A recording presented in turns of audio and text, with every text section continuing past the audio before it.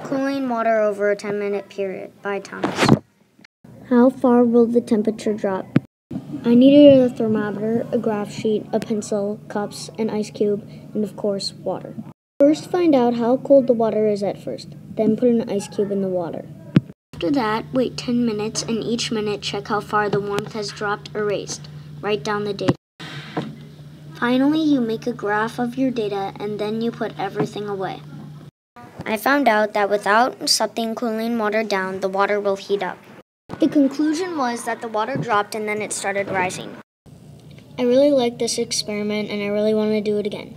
Do Do do do do do do do subscribe.